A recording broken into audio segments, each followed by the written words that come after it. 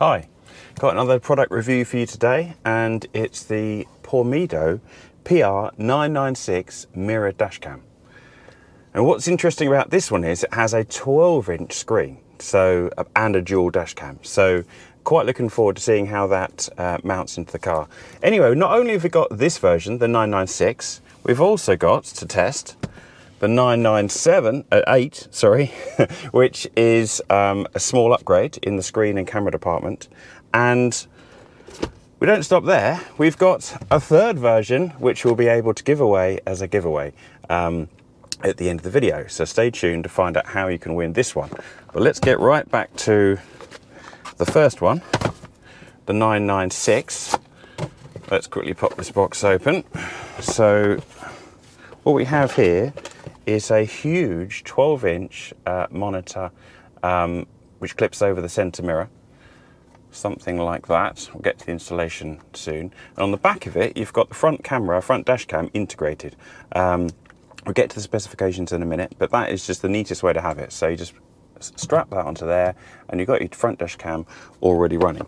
Now if I quickly flip the box open, they also give us a waterproof rear camera and this unit is solid metal. It really feels uh, nice. It comes with two mounting brackets um, so you can put it inside or outside of the car. Um, we're probably going to go inside, it's just easier to keep clean. But uh, yeah, that is proper solid. Um, so um, that's included. You've obviously got a huge amount of cabling, power cables, uh, straps, um, but also very unusually, memory cards included. 32 gigabytes SanDisk. Uh, it's a high-speed card, so that should do. I'll have to look up how much um, recording time that will give us, um, but you can upgrade it up to 128 gigabytes if you need to hold more. So um, yeah, that is the 996 uh, version. It comes in both right-hand drive and left-hand drive versions, which means you can get the camera mounted to either side. We've got the right-hand drive here. That should give a slightly better view of the road, but if you live abroad, um, you can have the left-hand drive version and it should cover that side of the car. We're going to test them both out anyway, so let's see how that works. Just in case you're wondering what the difference is to the upgraded 998, let's make a real mess here. and uh, the screen unit has no camera. Okay, you might be thinking, why would you do that, Matt? That sounds pretty silly. So what you've got now is both cameras are external. The front camera is separate. Let's get that out. And that can be mounted any way you like. So the advantage of this is that you might have um, actually one of these plastic bits in the center of the car, and that does get in the view very slightly. But if it's worse in your car, this version gets around it because you can mount this anywhere you want and get the perfect view forward. So that's quite nice. It comes with the same rear camera as before uh, and all the cables. It's just a question of whether you want to have um, the uh, external front camera or have it built into the mirror. So that's the um, difference there. In terms of recording quality, um, you can have it set at 1080p, uh, full HD, uh, 30 frames per second, or if you want to economize on the memory card usage, you can knock it back to 720p, 25 frames per second. We'll test both those out so you can see the difference. Um, they do have a parking mode um, if you want to have it monitor the car whilst you're away.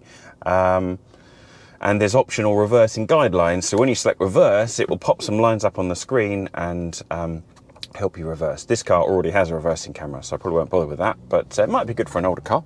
Um, so uh, yeah, we'll test all of this out, both versions. Um, so I'll get this all set up and uh, I'll see you in a couple of minutes.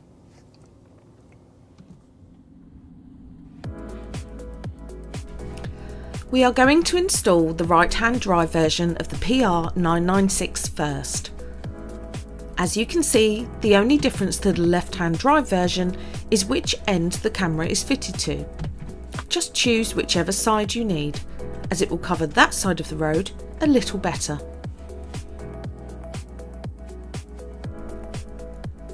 It was really easy to install the system. The screen is held in place by two rubber bands that stretch around the car's original mirror. The integrated camera can be adjusted a little if needed.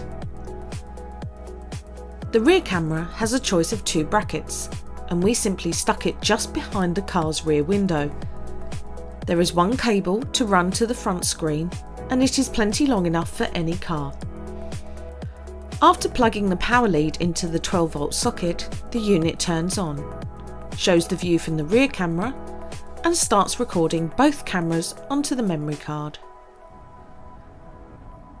There is a very simple menu system where all the settings can be adjusted easily. The cameras can record in 1080p for the best quality or 720p to save room on the memory card. We'll have a look at some recorded footage in a moment. Let's go for a drive.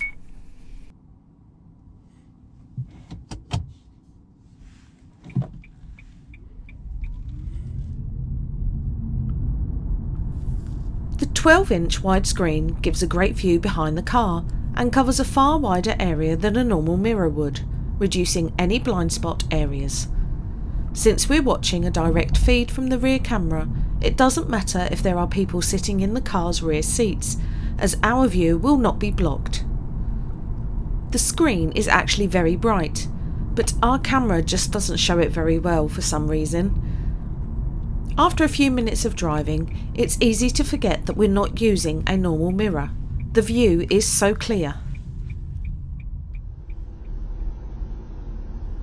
Here is the front camera, recording at full quality, 1080p with 30 frames per second. The video quality is great, with good sharpness and exposure. The dark area on the top left is a plastic cover at the top of the car's windscreen, but we still get a clear view of the road ahead. Switching to the rear camera, the quality is just as good. Mounting the camera inside the car like this helps the unit stay clean and also the rear wiper will ensure there is always a clear view through the rear window to record. Switching to the lower quality 720p setting we can see a softer image with less contrast.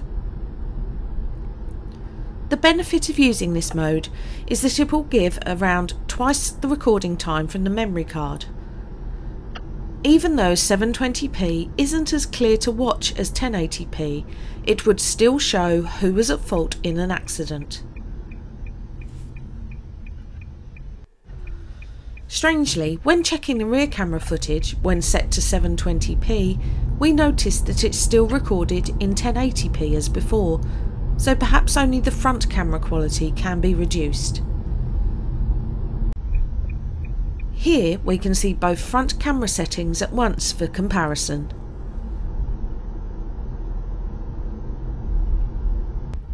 When we slow the footage down, the left view with 30 frames per second is clearly smoother.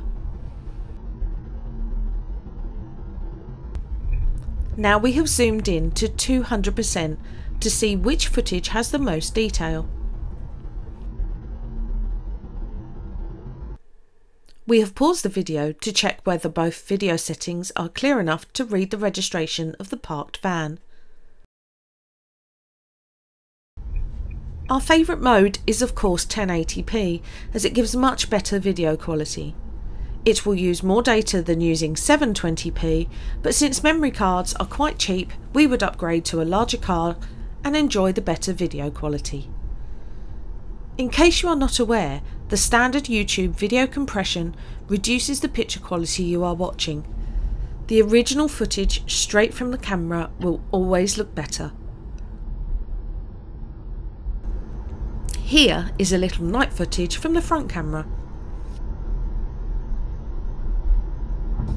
The rear camera doesn't have the car's headlamps to help, so it's much darker.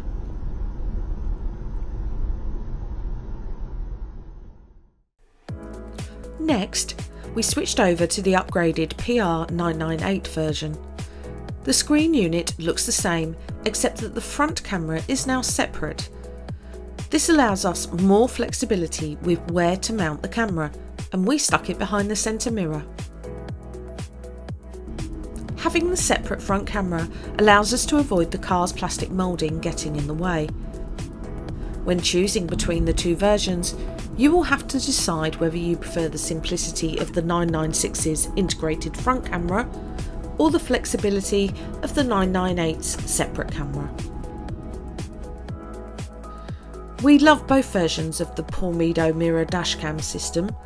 The PR996 will be left installed in our white Nissan Leaf and the PR998 in our blue Leaf. Having twin dashcams integrated into the huge 12 inch rear view screen works very well and prevents cluttering the windscreen with separate cameras and mirrors. If you would like to order one for yourself, then we have placed Amazon links in the video description below, or stay tuned to see how you could win the spare unit we have here. If you would like to enter our giveaway competition, you need to be living in the UK and subscribe to our channel. All you have to do is answer this question. Which town do we film almost all of our videos? If you think you know the answer, comment below. After 30 days, we will choose one of the correct answers at random and contact you. Good luck! If you found this video interesting, then please visit our channel as there are over 100 more tutorial videos to help you improve your driving. If you would like to help us make new videos, then please consider becoming a member of our channel. Thanks for watching.